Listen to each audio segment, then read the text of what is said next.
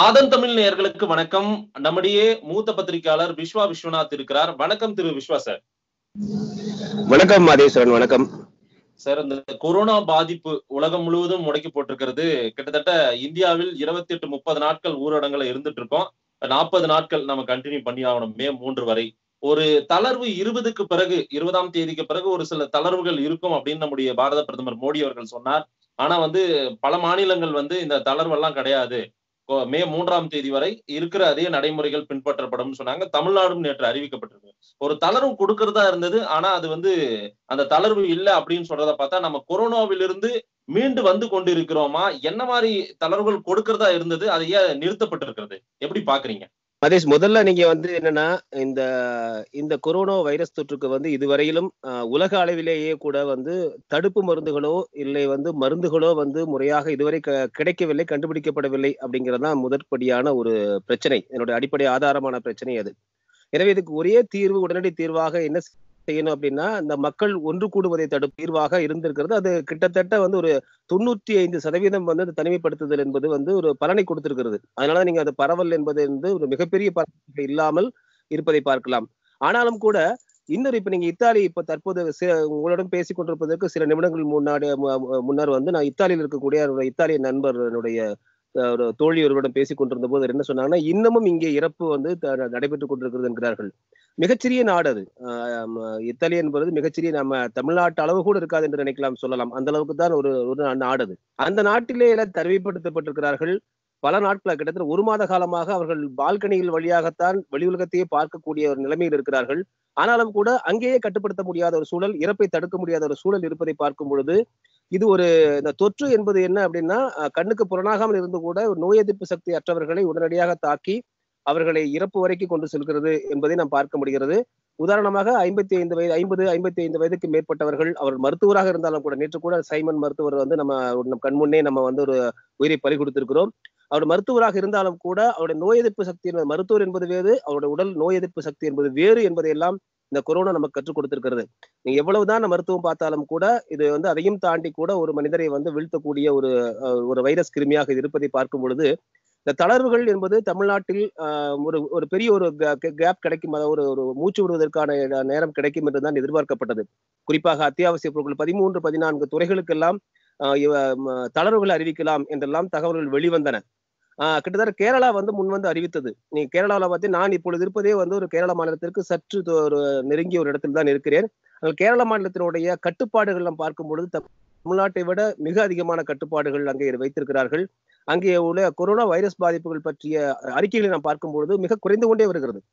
நீங்கள் நூறுகளிலிருந்து பத்தாக மாறி இப்பொழுது பத்து இலக்கங்களுக்குள்ளே அங்கே வந்து கொரோனா வைரஸ் தாக்குதலை கொண்டு வந்திருக்கிறார்கள். இது மிகப்பெரிய கட்டுப்பாட்டை அங்கே இருக்கிறது. அவர்கள் ஆயுர்வேத மருத்துவத்தையும் பயன்படுத்துகிறார்கள் என்பதை நம்ம கவனிக்க வேண்டியது இருக்கிறது. ஆக இந்த ஒருங்கிணைந்த மருத்துவ முறைகளை கையாள் கையாள்வது அவசியம். அதே போல வந்து தனிமைப்படுத்துதலை வந்து தளர்வுகளை நம்ம கொண்டு வராமல் தனிமைப்படுத்துதலை அதிகப்படுத்தியே கொண்டு சென்று கொண்டிருந்தால் இதுக்கு தீர்வு என்ன என்பதுதான் இன்னமும் ஒரு பல பல ஆயிரம் மில்லியன் டாலர் கேள்வி என்று சொல்லக்கூடிய அளவு கேள்விகளாக இருக்கிறது. இத்தனை இப்படியே கொண்டு போய் நம்ம எத்தனை நாளை கொண்டு போக போறோம்? தகவல் ரெண்டாயிரத்தி இருபத்தி ரெண்டு வரைக்கும் நீங்கள் தனிமைப்படுத்தி இருந்தால்தான் ஆசிய நாடுகள் வந்து பிழைக்கும் என்பது போதெல்லாம் தகவல் வருகின்றன. அப்படி பார்த்தால் அப்ப ஐரோப்பிய நாடுகளில் இத்தாலி ஏன் வந்து ரெக்கவரி ஆகவில்லை என்ற ஒரு கேள்வி எழுகிறது. எனவே இந்த தகவல்கள் எல்லாம் வாட்ஸ்அப் வழியாகவும் ஊடகங்கள் வழியாகவும் வரக்கூடிய தகவல்கள் எல்லாம் உறுதியான தகவலாக இருக்கவில்லை. எனவே அரசாங்கம் குறிப்பாக இந்திய அரசும் தமிழக அரசும் ஒரு மிக தெளிவான இந்த நோய் பற்றிய ஒரு முதல் அறிக்கையை வெளியிட வேண்டியது அவசியமாகிறதாகத்தான் நான் பார்க்கிறேன். முதலில் என்னுடைய ஒரு கேள்வி சார். கேரளா வந்து முதல்ல ஆரம்பிச்சது கேரளாவில தான். அங்கதான் ஸ்டார்ட் ஆச்சு. முதல் கொரோனா தொற்று இருக்கிற ஒரு பர்சனை அங்கதான் வந்து இது பண்ணாங்க. ஆனா எந்த இந்த அளவுக்கு ஒரு த கட்டுப்பாடுகள் எப்படி கொண்டு வந்தாங்க? எந்த விஷயம் மருத்துவ ரீதியாகவோ இல்ல தனிமைப்படுத்த சமூக விலகல் மூலமாவோ இல்ல வேற எந்தெந்த விஷயங்கள்ல வந்து அவங்க வந்து ரொம்ப கட்டுப்பாட்டுக்குள் ஒரு கண்ட்ரோலுக்குள்ள கொண்டு வந்தாங்க? இல்ல அங்க நீங்க வந்து பாத்தீங்கன்னா தனிமைப்படுத்தப்படுதல் ஒரு மிக முக்கியமான ஒரு அம்சம். நீங்க தமிழ்நாட்டை ஒப்பிடும் பொழுது வந்து மிகப்பெரிய நகரங்கள் இப்போ தமிழ்நாட்டை நீங்க வந்து பாத்தீங்கன்னா ஒரு பத்து பெருநகரங்கள் என்று சொல்லக்கூடாது. மாநகராட்சிகள் உள்ள ஒரு இடமாக நம்ம இருக்கிறோம். பத்து பதினைந்துக்கு கிட்டத்தட்ட வந்து விட்டது. அப்படி பார்க்க நெருக்கமான ஒரு குடியிருப்புகளை கொண்ட பல நகரங்களை கொண்ட ஒரு இடமாக தமிழ்நாடு இருக்கிறது. ஆனால் நீங்கள் கேரளாவில் வந்து பாத்தீங்கன்னா இந்த அளவுக்கு நெருக்கமான நகரங்களை கொண்ட அது நம்ம மாநிலமாக அது இல்லை. சற்று குறைவாக ஒப்பிடும் பொழுது தமிழ்நாட்டை ஒப்பிடும் போது குறைவாக இருக்கிறது. மக்களுடைய வாழ்வியல் முறைகள் வந்து அபார்ட்மெண்ட் வாழ்க்கை நீங்க திருவள்ளிக்கணிலாம் நீங்க வந்து பார்த்தோம்னா உங்களுக்கே தெரியும். ஒரு மேன்ஷன் வாழ்க்கையை வாழ்ந்து கொண்டிருக்கிறோம். ஒரே இடத்துல ஆயிரக்கணக்கான மக்கள் நெருக்கமான இடத்துல வாழ்ந்து கொண்டிருக்கிறோம். அது மாதிரி அதுபோல பல பல குடியிருப்பு சூழல்கள் ஒரு இங்கே வந்து நமக்கு ஒப்பிடும்போது கேரளாவில் அது அது ஒரு அவர்களுக்கு தடுப்பு முறைக்கு வசதியான ஒரு ஏற்பாடாக நாம் பார்க்கப்படுகிறது. அதே போல கட்டுப்பாடுகளை மக்கள் ஏற்றுக்கொள்ளும் விதமும் வந்து நீங்க பார்த்தோம் அப்படின்னா அவர்கள் உடனடியாக அதை ரெஸ்பாண்ட் பண்ண ஆரம்பிச்சிட்டாங்க மக்கள். இது வந்து மிகப்பெரிய ஒரு ஆபத்தானது என்பது ரெஸ்பாண்ட் பண்ண ஆரம்பிச்சு அரசோடு ஒரு ஒத்துழைப்பையும் அவர்கள் நல்கிறார்கள். அதன் அதை- விட மிக முக்கியமானது அரசும் இந்த ஒவ்வொரு காலகட்டத்திற்கும் மக்களுக்கு ஒரு பெரிய அழுத்தத்தை உண்டாக்காமல் அவர்கள் அச்சத்தை உண்டாக்காமல் அதே போல அவர்களுக்கு ஒரு- ஒரு புரிதலை உண்டாக்கி அந்த வை- வைரஸ் தொற்றிலிருந்து அவளை காப்பதற்கான முயற்சிகளை மேற்கொள்கிறது என்பதை நாம் தெளிவாக பார்க்க முடிகிறது. இது இது வந்து மிக மிக- மிக முக்கியமா நம்ம கேரளாவிடம் கற்றுக்கொள்ள வேண்டியது. அந்த அந்த வகையில் அதே போல வந்து நீங்க இப்போ இந்த காவல்துறை சுங்க சாவடிகள் சாவடிகளில் காவல்துறை சாவடிகள்லாம் பார்த்து பாத்தீங்கன்னா மிகுந்த வந்து கட்டுப்பாடோடு அவங்க இருக்கிறாங்க. எந்த விதமான தளர்வுகளையும் அவர்கள் அவர்கள் வந்து மிக முக்கியமான அத்தியாவசிய தேவை அரசாங்கம் என்ன சட்டம் இருக்கிறதோ அதையெல்லாம் பின்பற்றக்கூடிய இருப்பதை பார்க்க முடிகிறது. அதெல்லாம் தவிர அவருடைய உணவு முறை அவரோட வாழ்வியல் நிறைய மலைகள் காடுகள் கிராமங்கள் சூழ்ந்த ஒரு வாழ்க்கையில் வாழ்ந்துட்டு இருக்காங்க. அவரோட உணவு முறைகளில் மாற்றத்தை ஏற்படுத்திக்கிறார்கள் அதே போல அரசாங்கம் ஆயுர்வேத மருத்துவத்தை அவர்கள் கையில் எடுக்கிறார்கள். ஆஹ் நேற்றைய அவர் சைலஜா சுகாதாரத்துறை அமைச்சர் தெரிவித்த வெளியிட்டிருந்த அறிக்கையின் அடிப்படையில் கூட ஒரு நானூறுக்கு பாதிப்பு இருந்து இருநூறு பேரை வந்து அவர்கள் மருத்துவமனையிலிருந்து குணமாக்கி அனுப்பியிருக்கிறார்கள். அந்த இந்த ரெக்கவரி ரேட் அப்படின்னு சொல்லக்கூடியது நம்ம நோயிலிருந்து குணமாகக்கூடிய விகிதா விகிதம் என்பது அங்கே வந்து மிக அதிகமாக இருக்கிறது. இதெல்லாம் நாம் பார்க்க வேண்டியது இருக்கிறது. அப்ப தமிழ்நாட்டினுடைய அடிப்படையில் நம்ம இப்பொழுது பார்க்க வேண்டியது இந்த தடுப்பு நடவடிக்கைகளில் மிகவும் க- கட்டுப்பாடோடு வைத்திருக்க முடிகிறது சில வேளைகள் முடிவதில்லை என்ற ஒரு குழப்பமான சூழல் தான் இருக்கிறது. இதற்கு அவர்கள் உடனடியாக இந்த தடுப்பு நடவடிக்கை ஒருபுறம் இருக்க இதற்கான தீர்வு முறைகள் மருத்துவ முறைகளை இன்னும் வேகப்படுத்த வேண்டியது அவசியமாகிறது. அதுதான் இங்க அடிப்படையில் பார்க்கும் பொழுது. எனவே தான் அதான் அதான் நான் சொல்ல வந்தேன்னா நீங்க என்ன தளர்வுகள் கொண்டு வர வேண்டும் என்பது மக்களுக்கான விருப்பம் அரசாங்கத்தின் விருப்பமாக கூட இருக்கலாம். ஆனால் இந்த தீர்வை நோக்கி நகராமல் இருக்கிறோம் என்கிறதான் நம் புரிந்து கொள்ள வேண்டிய ஒன்று. இந்த தீர்வு என்ன அப்படிங்கிறத நம்ம பார்க்க வேண்டியது இருக்கு. அதுல நம்ம வந்து எந்த மாநிலம் கொரோனாவுக்கு மருந்தே கண்டுபிடிக்க முடியாதா சார்? ஏன் உலக நாடுகளே பாதிக்கப்பட்டு எல்லாம் முடங்கி போய் உட்கார்ந்துட்டு இருக்கோம். இதற்கான மருத்துவ தீர்வே நமக்கு ஒண்ணு கிடைக்காதா? இதுக்கு மருந்து கண்டுபிடிச்சிடும் அப்படின்னு யாராவது சொல்ல முடியாதா? இல்ல எனக்கு இதுல இதுல ஒண்ணு ஒரு வியப்பான ஒரு இது என்ன அப்படின்னா இப்ப நீங்க இந்த வைரஸ் முதல் முதலாக வைரஸ் தொற்று வந்து வுகான் மா மாகாணத்தில் சீனா நாட்டில வந்து பரவுது. இந்த சீன நாட்டில் பரவின உடனே வந்து பாத்தீங்கன்னா அந்த அரசாங்கம் எப்படி குயிக்கா ரெஸ்பாண்ட் பண்ணாங்க அப்படின்னா கிட்டத்தட்ட ஒரு பதினையாயிரம் படுக்கையர்கள் கொண்ட ஒரு தற்காலிக மருத்துவமனை மிகப்பெரிய மருத்துவமனையை ஒரு எட்டு நாட்களில் உருவாக்குகிறார்கள். எட்டு நாட்களில் மருத்துவமனை உருவாக்கி பதினையாயிரம் இருபதாயிரம் என்றிருந்த அந்த நோயாளிகளுடைய எண்ணிக்கையை குறைத்து கிட்டத்தட்ட பதினைந்து நாட்களுக்குள்ளாக பதினைந்து நோயாளிகளாக குறைத்திருக்கிறார்கள். பதினைந்து நோயாளியாக குறைத்து விட்டு அந்த தற்காலிக மருத்துவமனையை கலைத்து விட்டார்கள். கலைத்து விட்டு ஒட்டுமொத்தமாக ஊகான் மாநிலத்தில் எல்லாம் மருந்துகள் தெளிக்கப்பட்டு அதன் பிறகு ஊகான் மாநிலம் ஒரு கிளியர் கம்ப்ளீட்டாக கிளியர் கொரோனா வந்து ஃப்ரீ ஜோன் என்ற அளவுக்கு அவர்கள் அறிவித்திருக்கிறார்கள். அதன் பிறகு சீனாவில் வந்து இதுவரையில் வந்து மிகப்பெரிய ஒரு தொ- கொரோனாவினால் தொற்று பாதிக்கப்பட்ட மிகப்பெரிய இழப்புகள் ஏற்பட்டதாக நமக்கு தகவல்கள் இல்லை. அப்ப எனக்கு இந்த அடிப்படையில் நான் தொடக்கம் முதலே நான் நண்பரிடம் பேசிக் இதை இதைத்தான் சொல்றேன். சீனாவிற்கு எப்படி அவள் குயிக்கா ரெஸ்பாண்ட் பண்ண அவளால் அவர்களால் முடிந்தது? அப்பொழுது உதாரணத்திற்கு நம்மால் ஏன் அது முடியவில்லை? நம்ம ஏன் ஒரு உடனடியாக ஒரு அதே போன்று எட்டு நாட்களில் மருத்துவமனை கட்ட இயலாதா? இந்தியா இந்திய ஒவ்வொரு மாநிலங்களில் கட்ட இயலாதா? அவர்களுக்கு அந்த மருந்து முறைகளை கொடுக்க முடியாதா? அந்த பதினைந்து நாட்களுக்குள் பதினைந்து நோயாளிகளாக குறைத்திருக்க முடியாதா? என்ற கேள்வி எழுகிறது. என்றால் சீனாவிற்கு இதை பற்றி நன்கு தெரிந்திருக்கிறது என்பதை நாம் பார்க்க வேண்டியிருக்கிறது. அப்ப இந்த சீன அரசாங்கம் என்ன மருத்துவ முறைகளை கையாண்டது என்ற ஒரு அடிப்படையை நாம் பெற்றுக்கொண்டாவது இதனுடைய தீர்விலிருந்து நம்ம வந்திருக்கலாம். நமக்கு கிடைத்த தகவல் அடிப்படையில் மருத்துவ சித்த மருத்துவர் கு. சிவராமன் போன்றவர்களுக்கு கொடுத்த பேட்டியில பிபிசி பேட்டியில கொண்டு பாத்தீங்கன்னா சீன அரசாங்கம் மரபுசார் மருத்துவங்களையும் அதே போல நம்முடைய ஆங்கில மருத்துவத்தையும் இரண்டு மருத்துவங்களையும் இணைந்து ஒன்று சேர்த்து எதுக்கு எப்பப்ப கொடுக்கணுமோ கொடுத்து அவர்கள் வந்து கட்டுப்படுத்தி கொண்டு வந்திருக்கான்னு சொல்லி சொல்றாங்க. அப்ப அதே போன்ற ஒரு தீர்வு முறையை நோக்கி நாம் ஏன் செல்லக்கூடாது என்பதுதான் நம்முடைய அடிப்படையான கேள்வி இருக்கிறது குறிப்பாக எந்த வைரஸுக்கும் இதுவரையிலும் உலகத்தில் மருந்து நேரடியாக கண்டுபிடிக்கப்பட்டதாக ஆஹ், ஒன்றிரண்டு விரல் விட்டு எண்ணிவிடலாம். நீங்கள் அம்மை நோய்க்கு தடுப்புகள் இருக்கு. சீனா அதை அதை வந்து இது ப- முறைப்படுத்தி தான் வந்து மீண்டு வந்திருக்காங்க. அதையும் நம்ம கேட்டு பண்ணணும்னு சொல்றீங்க. சரியா? ஆமாம். இல்ல, அதற்கான இத வந்து ஏன் சீனா சொல்ல மறுக்குதா? சீன அரசு? அப்படி ஏதாவது இருக்கா? இல்ல வேற நாடுகள் அதை கேட்டு பெற முடியலையா? நாம வந்து சொன்னா நாம கேட்டா அவங்க சொல்ல மாட்டோம்னா இருக்கு அப்படி இருக்காங்களா? நீங்க சொல்றது எனக்கு அது விளங்கல சார். இல்ல அப்படி அவங்க இருப்பாங்க நான் சொல்லல. நான் என்ன சொல்றேன் அவங்க எப்படி ரெக்கவர் ஆகாங்க? அவ்வளவு குயிக்கா ரெக்கவர் ஆக முடியுது அவங்கனால அப்படிங்கிறது அப்ப அந்த முறைகளை நாம் ஏன் வந்து பிற நாடுகள் பெருக்கக்கூடாது? இல்ல அந்த பகுதியில் உள்ள அத- அவங்க சொல்ற மரபு மரபு சார்ந்த மருத்துவ மருத்துவத்தையும் எடுத்துக்கொள்கிறோம். ஆங்கில மருத்துவத்தையும் எடுத்துக்கொள்கிறோம் என்று சொல்கிறார்கள். அதே போல நம்ம ஏன் நீங்க முயற்சிகள் மேற்கொள்ளக்கூடாது? நீங்க தமிழ்நாட்டை பொறுத்தவரையிலும் அதை நீங்க வந்து கவனிச்சீங்கன்னா அதற்கான எந்த முயற்சிகள் மேற்கொள்ளப்பட்டிருக்கிறது வெளிப்படையான எந்த அறிவிப்பும் இல்லை. என்னுடைய அடி முதலிலே சொன்னது அதுதான்.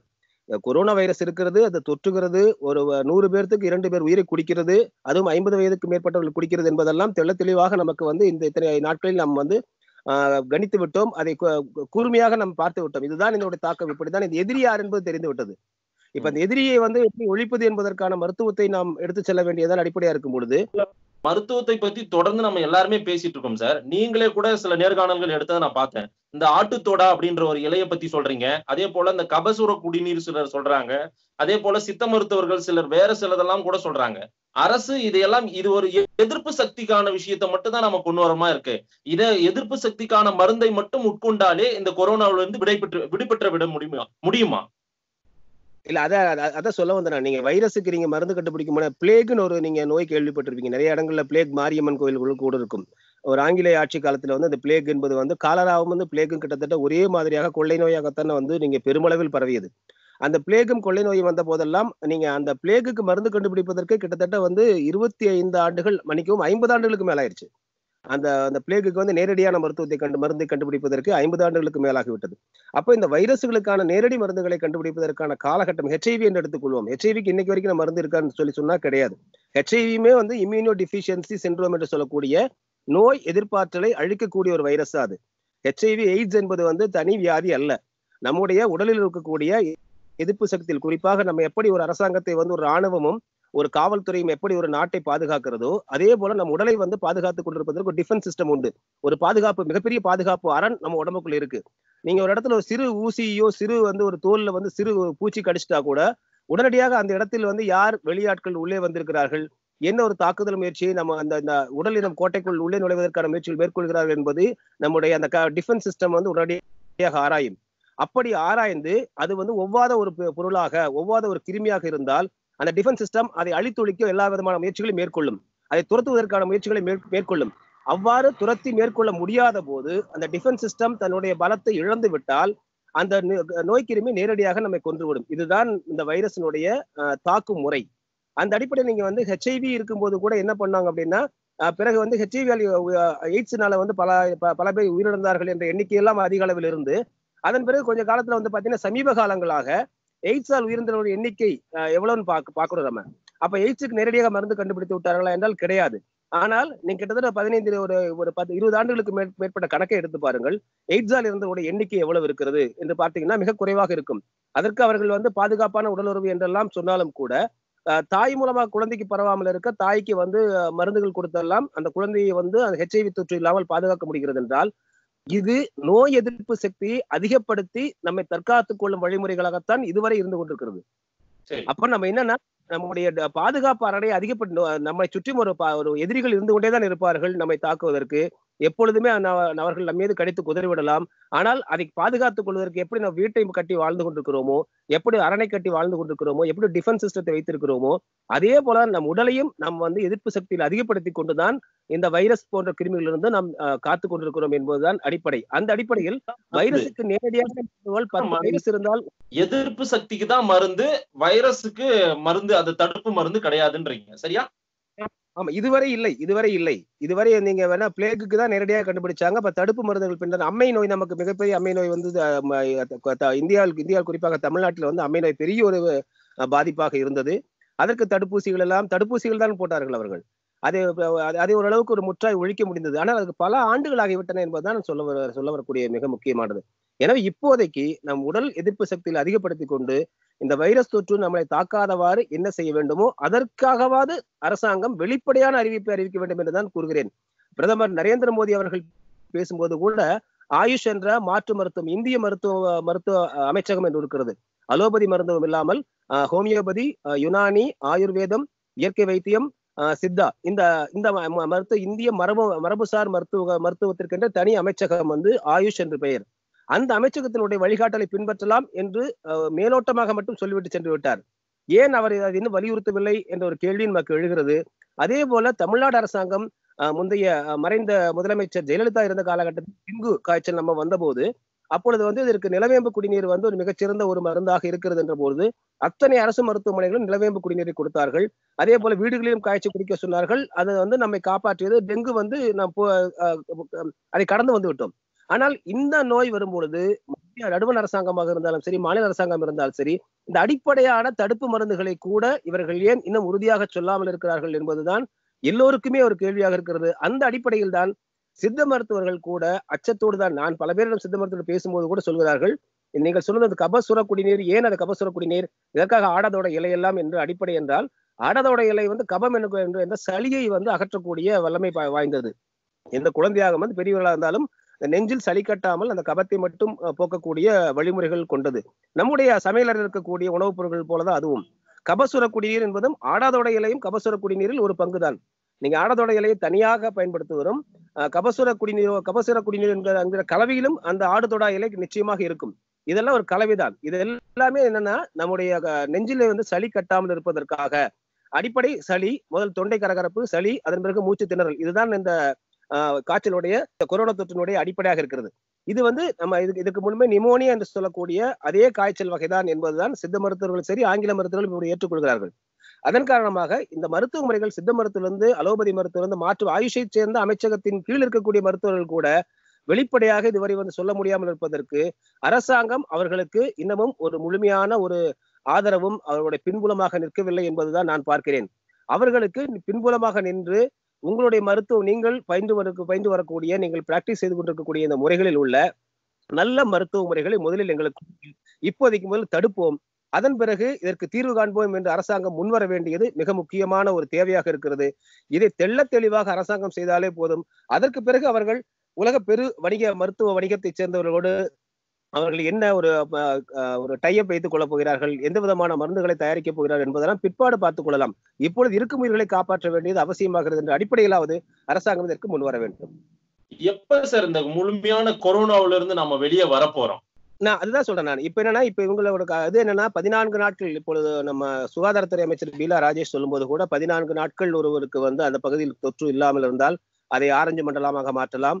அதன் பிறகு இருபத்தி எட்டு நாட்களுக்கு அங்க தொற்று இல்லை என்றால் அதை பச்சை மண்டலமாக மாற்றலாம் என்கிறார். ஆக ஒரு குறிப்பிட்ட கால அளவுக்கு இந்த தொ- கொரோனா தொற்று என்பது குறிப்பிட்ட கால அளவுக்குள்ளேயே நமக்கு தெரிந்து விடுகிறது என்பதுதான் இப்பொழுது அவர்களுடைய அந்த மருத்துவ அடிப்படையில் தான் அவங்க சொல்றாங்க அவங்க. ஆங்கில மருத்துவம் மற்ற மத்த மருத்துவர் சொல்லக்கூடிய அடிப்படையில் தான் அவங்க சொல்றாங்க அப்படி- அப்படிங்கும்போது இது கால இடைவெளியில் அஹ், தொற்றாமல் இருப்பதை கால இடைவெளியிலேயே நம்ம கண்டுபிடித்து விடலாம் என்கிற அடிப்படை இருக்கும் பொழுது ஒரு மாத காலம் என்பதுதான் கிட்டத்தட்ட நம்ம இதுல வந்து ஒரு கற்றுக்கொள்ள நம் அஹ், புரிந்து கொள்ள வேண்டியதாக இருக்கிறது. அப்ப இந்த ஒரு மாத காலம் அப்படிங்கும்போது திடீர்னு நீங்க வந்து பாத்தீங்கன்னா குடியரசுத் தலைவர் மாளிகையிலேயே குடியிருப்பிலேயே வந்து கிட்டத்தட்ட நூற்றி இருபத்தி ஐந்து பேருக்கு வந்து தொற்று இருப்பதாக தற்போது தகவல் வெளியாக இருக்கிறது. அங்க இருக்க குடியிருப்பில் உள்ள அஹ், குடியரசுத் தலைவர் மாளிகையினுடைய குடியிருப்பில் உள்ளவர்களை தனிமைப்படுத்தியிருக்கிற என்ற தகவல் வெளியாகிறது. நேற்று ஊடகத்துறை சேர்ந்தவர்கள் இரண்டு மூன்று பேருக்கு வந்திருப்பதாக தகவல் வெளியாகிறது. ஆக இந்த காலகட்டம் எந்தெந்த பாக்கெட்ல எப்படி அது வந்து எவ்வளவு மாதத்திற்கு இழுக்கிறது என்பதை பொறுத்துதான் இந்த கொரோனா தொற்றினுடைய தொற்றை நாம் வந்து ஒரு தீர்மானத்திற்கு வர முடியும் என்பதுதான் அரசாங்கம் அஹ், கொண்டு வரக்கூடிய அரசாங்கத்தோட சுகாதாரத்துறைகள் கொண்டு வரக்கூடிய கட்டுப்பாடுகளிலிருந்து நாம் புரிந்து கொள்ள முடிகிறது. எனவே அப்படி பார்த்தாலும் கிட்டத்தட்ட இன்னும் ஒரு மாத காலமாவது முழுமையான இந்த ஒரு அப்சர்வேஷன் கவனிப்பு க- கண்காணிப்பிலிருந்து அதன் பிறகு தொற்று குறைகிறதா என்று பார்த்து பார்த்துதான் இவர்கள் கொண்டு வரக்கூடிய சூழல் இருக்கிறார்கள். அதைத்தான் நான் சொல்றேன். அந்த ஒரு மாத காலத்திற்கு நம்ம அதை பார்த்து கொண்டிருப்பதற்கு பதிலாக ஏன் அரசாங்கமே முன்வந்து சுகாதாரத்துறை வாயிலாக இந்த தடுப்பு மருந்துகளை இன்னும் நீங்கள் வெளிப்படையாக நாங்கள் பார்த்த வரையில் இது உங்களுக்கு சளி பிடிக்காமல் இருக்கிறதா இருமல் வராமல் செய்திருக்கிறதா இதெல்லாம் முதலில் பயன்படுத்துங்கள் என்று சொல்லிக்கொண்டு அதை நோக்கி தீர்வை நோக்கி செல்வதற்கு வாய்ப்பாக வச அதுதான் சரியான லாஜிக்கலான இருக்கும். ஆனால் நம்மை விட சுகாதாரத்துறையில் மிக சிறந்த வல்லுநர்கள் இருக்கிறார்கள். இந்திய அளவில் வல்லுநர்கள் இருக்கிறார்கள் மருத்துவ வல்லுநர்கள் இருக்கிறார்கள். ஏன் அவர்களெல்லாம் இதற்கு இன்னும் இன்னுமே அதுக்கு வந்து தீர்வு காணவில்லையா? இல்ல அதை பற்றி பேசவில்லையா? இல்ல அரசாங்கம் அவரோடு பேசிக் கொண்டிருக்கிறதா என்பதெல்லாம் நமக்கு தெரியாத சூழ்நிலையில் தான் நாம் என்ன சொல்கிறோம் என்றால் அரசாங்கம் இந்த ம- நோய் பற்றிய இந்த நோயினுடைய தாக்கம் பற்றிய முழு விழிப்புணர்வை மக்களிடையே கொண்டு செல்ல வேண்டும். அல்லது படித்தவர்களிடமாவது கொண்டு சென்று படிக்காத மக்களிடக்கும் மக்களிடத்திலும் கொண்டு சேர்க்க வேண்டியது அவசியமாகிறது. இந்த அடிப்படையில் தான் ஒரு மருத்துவரின் உடலை கூட தகனம் செய்ய ஒரு ஒரு குறிப்பிட்ட அந்த பகுதி மக்கள் வந்து தடுத்திருக்கிறார்கள். என்னவென்றால் அந்த இடத்தில் புதைத்தால் கொரோனா என்னமோ ஒரு மரம் போல வ- முளைத்து விடும் என்ற ஒரு கற்பனை அவர்களுக்கு இருந்திருக்கிறது அச்சம் அவர்களுக்கு இருந்திருக்கிறது. ஆக ஒரு இறந்த பிணத்திலே அந்த வைரஸ் இருக்குமா இருக்காது இருக்காதா அது தொற்றுமா தொற்றாதா என்ற அடிப்படையான ஒரு அறிவு கூட நமக்கு வந்து மக்களிடம் வந்து சென்று சேரவில்லை என்பதுதான் நம்ம பார்க்க வேண்டியிருக்கிறது. எனவே ஒரு பக்கம் தனிமைப்படுத்தல் தொடர்ந்தாலும் கொரோனா மிகப்பெரிய அச்சுறுத்தல் அதன் தப்பித்துக் கொள்ளலாம் என்ற பரப்புரைகள் மேற்கொள்ளப்பட்டாலும் இன்னொரு புறம் அதனுடைய உண்மையான அதனுடைய தன்மையை வெளி சொல்லாத காரணத்தால் தான் நாம் இது போன்ற சிக்கல்களை சந்திக்க வேண்டியதா இருக்கிறது. ஜேர்னலிஸ்டா இருந்துகிட்டு இந்த கொரோனா லாக்டவுன் சமயத்துல இருந்து நான் உங்களை நிறைய வாட்ச் பண்ணிட்டு இருக்கேன். நீங்க வந்து சித்த மருத்துவர் மரபு சார்ந்த மருத்துவர்கள் நிறைய பேர்கிட்ட இந்த எதிர்ப்பு சக்தி சார்ந்த நிறைய மருந்துகள் அந்த ஆட்டுத்தொட்டாவில இருந்து கபசுர குடிநீர் எல்லா பற்றியும் நீங்க வந்து சில விவாதங்கள் எல்லாம் பேட்டி எடுத்ததை நான் பார்த்தேன். நிறைய தரவுகள் சொல்லியிருக்கீங்க. எதிர்ப்பு சக்திகளை நாம வந்து அதிகரித்து கொள்ள வேண்டிய நேரம் இது அப்படின்னு நீங்க சொல்றீங்க. நிச்சயமா நேர்கள்கிட்ட கொண்டு போய் கொடுப்போம். கொரோனாவிலிருந்து மீண்டு வருவோம். ஒன்றிணைவோம். எல்லோரும் வீட்டில் இருப்போம். இணைப்பில் வந்து நிறைய தகவல்களை கொடுத்திருக்கீங்க. நன்றி விஸ்வா சார் அடிப்படையான நம்ம வெந்நீர் குடிப்பது குழந்தைகளுக்கு குடும்பத்தில் வெந்நீர் குடிப்பது நம் ரசம் போன்ற மிக எளிதான உணவுப் பொருட்களை பயன்படுத்துவதில் உள்ள சீரகம் மிளகு மஞ்சள் ஆகியவை ஆகிய அனைத்துமே நமக்கு வந்து மருத்துவ பொருட்கள் தான். நம்முடைய பழைய பழைய சாப்பாட்டில் கூட நீங்க வெங்காயம் போட்டு வச்சு அதுல அதுல வந்து நீங்க சிறு சீரகத்தை கொஞ்சம் போட்டு வச்சு சாப்பிடக்கூடிய நம்ம மரபு சார்ந்த நம்ம உணவு முறைகளே நமக்கு மிகப்பெரிய மருத்துவ முறைகளாக இருக்கிறது. அந்த மருத்துவ முறைகளை முறையாக பின்பற்றி இந்த தனிமைப்படுத்துதலை நமக்கு தண்டனையாக ஏற்றுக்கொள்ளாமல் நம்முடைய மனித சமுதாயத்திற்கு வ- வந்திருக்கக்கூடிய ஒரு மிகப்பெரிய அச்சுறுத்தலாக ஒவ்வொரு தனி மனிதரும் எண்ணி இந்த அச்சுறுத்தலை வீழ்த்தி நிச்சயமாக இந்த மனிதகுலம் நம்முடைய அடுத்த சந்ததியை நோக்கி முன்னேறி செல்லும் நம்பிக்கை எனக்கு இருக்கிறது. நன்றி மாதேஸ்வர். வாய்ப்பளித்து ஆதன் தொலைக்கா ஆதன் தொலைக்காட்சிக்கு நன்றியை தெரிவித்துக் கொள்கிறேன். நன்றி சார்.